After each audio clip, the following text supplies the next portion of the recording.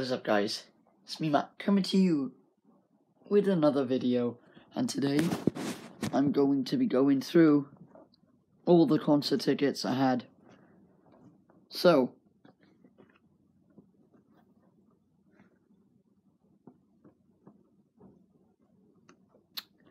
First up, Trivium. Uh, they're playing in Bristol next April. Uh, I think about almost two weeks after my birthday. So uh, that should be really fun. Um, next up is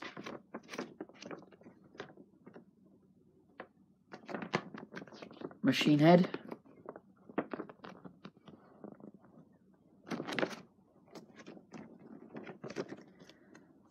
And then it's the main men themselves, Halestorm.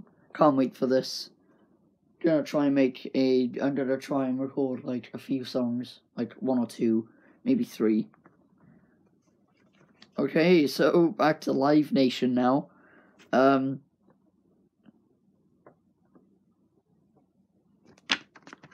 First up, 30 Seconds to Mars. Next up, All Time Low, second time seeing them live. Then it's one of my all time sort of guilt favourite guilty pleasure bands, Script. And then it is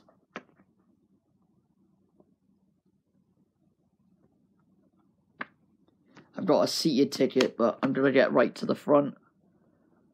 I got Paramore. Okay, so then the day before Halestorm, I've got this. I've got this band with Diamond Head, and um,